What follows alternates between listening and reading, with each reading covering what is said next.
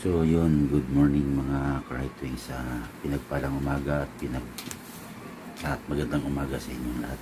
Ah, the time check uh, 8.09 in the morning uh, December 24 so dispiras po ng Pasko uh, dispiras po ng pagkabuhay ng ating mahal na Panginoon si Jesus Christ. So, dapat i-celebrate po natin at pagmuni-munihan po ang mga Panginoon. So, magandang umaga mga katwing sa panibagong vlog na naman ang ating gagawin ngayon. So, samahan niyo ako sa panibagong adventure. Pupunta po tayo dun sa Quezon City sa may sa Quezon City po sa may uh, Aranita Center. So, ngayon lang po, sa tagal na panahon po, ngayon lang po ako naka experience ng ganito na sobrang ganda na ng Quezon City ngayon. So, tara, samahan niyo ako.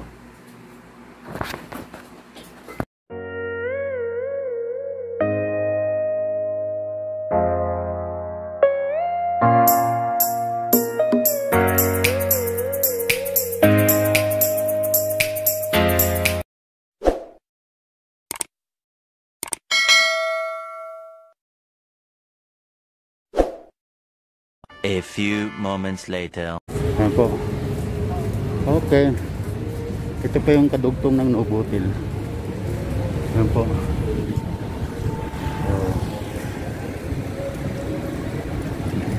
Novo Hotel.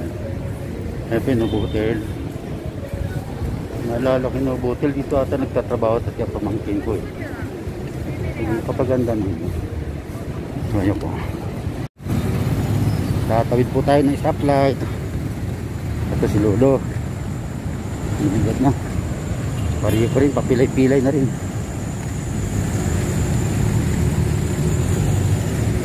Hop. Titip. Ayan na, sasalubong.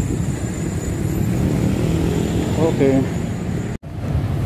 Yun o. Rin.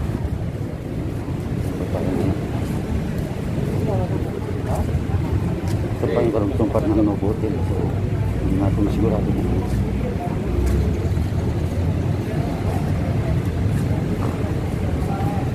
malaki-laki palang building to. Ang problema hindi ko na alam ngayon kung saan ako sasakay. Naligaw na po ako dito sa Araneta Center. Napakatagal ng panahon na hindi ako nakarating dito. So di bali maligaw. Siguro matunton ko rin pag nakarating ako sa dulo. Ah, sige. Yan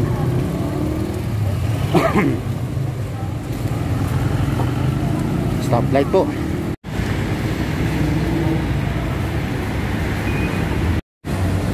Yan po. Ah, hindi ako nagkakamali. Karugtong pa rito ng Novo Hotel. Napakalaki pala ng Novo Hotel. Sobrang laki. So, yan po. Malapit na tayo sa Tuason. Yan po. Samahan nyo lang ako mga karepings para hindi ako maligaw. Nakakahingal pala maglakad. Pero nawawala yung hingal mo sa sobrang ganda ng lugar. Yun.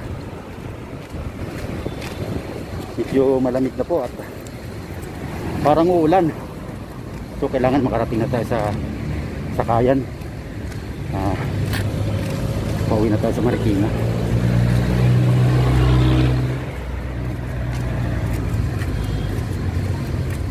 okay yun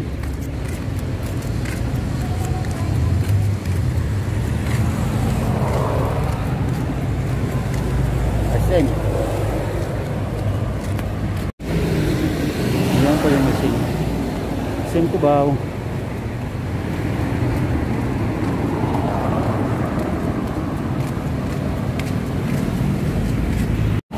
Ito, malapit na po ako sa Pitwason. Ah, ang ito na po ang Pitwason. So tatawid tayo mga karatwings at doon ako mag-aabang ng jeep sa kabila. Sasakay ako hanggang project 4 and then sasakay ng jeep papuntang Marikina. Okay. Yun. So Mag-aabang na lang ako ng jeep dito. So. Tatawid na tayo mga ka-wings dito. Medyo maluwag na. Ayun. Sa wakas. Malapit na ako dito sa Pitwason. Malapit na sasakayan ng jeep. Piruin mo nga naman, naligaw ako. Sa tagal ko, hindi nakapunta ng Aradita Center. Naligaw po ako.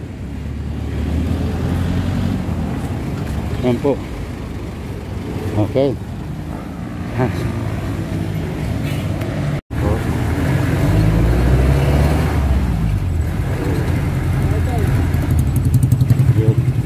Pipila pa si Kuya.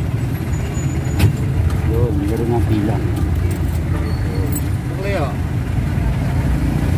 Sakto lang tama lang. Wala kami so...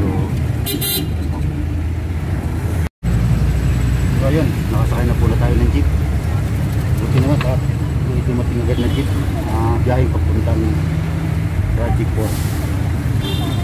4. Mas may pila pa ba kayo? Hindi, na. Depende. Yung mga jeep, sige po. pasahero, Oo. kailangan. Oo nga po. Kailangan talagang pumila kung walang pasero kasi doon lang naman sila kumukuha ng pasahero sa pila. Kung wala kung walang pasahero sa daan, kailangan talaga nila magpila. Pumila sa pilahan kasi lugi po yung pasada nila pag hindi sila pumila. Saka ang laman ng mga upuan sa transit dapat dalawa. So ginawa na lang isa dahil nasa pandemic. Rules tayo sinusunod. At saka sa likuran, imbis na pito-pito, ginawa na lang lima. So, kulang ng dalawa. Lima, apat. Yun. So, yan.